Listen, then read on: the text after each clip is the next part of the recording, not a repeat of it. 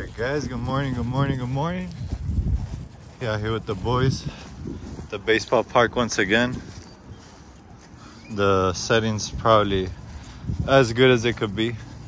No dogs around, bunch of space. Walked the Georgian boy for like a good mile. Walked around the fields.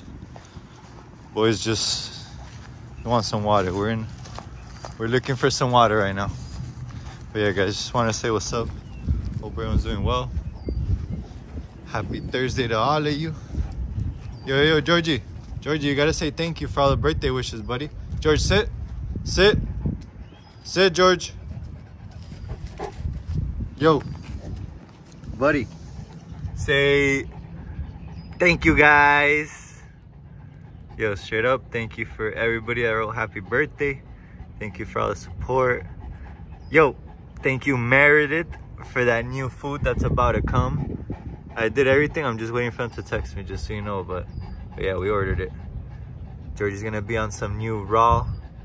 But it's basically they make life easy if you want to do raw. So there's a couple couple packages with boxes. They all contain some type of raw meat, um, tuna. I mean, no, what was it? Sardines, um, some eggs. Bro, it was like some duck thing. Bro, it was too much too much things to remember right now. But yeah, I'm gonna link it in the description. It's a Florida-based um, raw food company, and yeah, brother, haven't tried it out yet, but by the looks of it, it looks amazing. Reviews look pretty good. I was surprised I hadn't seen it yet. And then prices are the, the best part. For George, it's gonna cost probably like around 150 a month to feed him with that food, which is amazing, honestly. Before I was spending like $40 every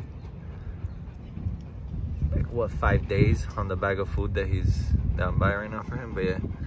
So i had to mix it in and yeah. Yo buddy. But yeah guys thank you for for always supporting the boys. Deuces guys